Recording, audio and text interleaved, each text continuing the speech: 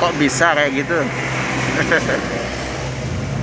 ya oke kurang lebih itu cuplikannya jadi kita akan membahas satu hal menarik dari mesin Bajaj Pulsar ini Yux Kali ini kita akan membahas motor Bajaj Pulsar DTSI. Ini adalah motor laki yang berasal dari negara India yang sempat dijual di Indonesia sekitar 2007 sampai 2011.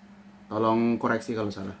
Motor ini bannya ada dua dan velgnya juga ada dua. bercanda, bercanda, bercanda. Ya biar nggak kaku-kaku amat. Oke, yang kita bahas adalah bagian mesinnya.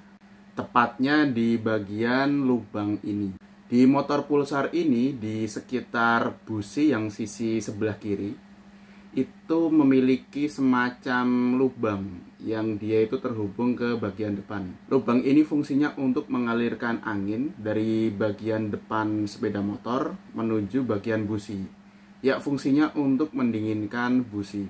Manfaatnya ya businya tidak overheat sehingga pengapiannya bisa stabil dan performanya terjaga. Oke, sekarang kita lihat seperti apa sih lubang angin yang ada di sekitar busi kirinya pulsar itu. Yuks. Mesin ini ada yang unik guys. Coba perhatiin nih.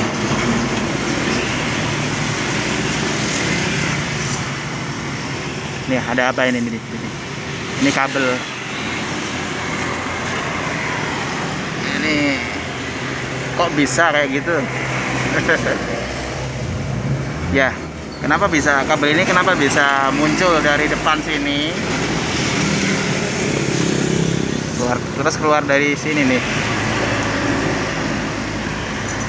Itu karena mesin ini mesin baja pulsar ini di, di businya ini dia punya semacam saluran angin yang fungsinya buat mendinginkan busi jadi anginnya tuh nanti masuk dari sini. Waktu motor jalan anginnya masuk dari sini nih. Terus dia akan berhembus di sini dan dinginin busi ini. Jadi busi itu perlu didinginkan biar apa namanya apinya stabil biar performanya stabil. Eh gitu aja sharingnya. Thank you Oke, jadi kurang lebih seperti itu lubang angin pendingin busi di motor Bajaj Pulsar. Oke, barangkali itu aja sharing dari saya.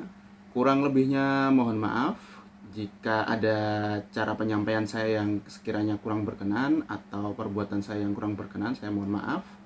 Dan jika ada koreksi atau feedback silahkan di-share di kolom komentar supaya saya juga bisa ikut belajar dari ilmu teman-teman. Oke, video saya akhirkan sampai di sini dan sampai jumpa lagi.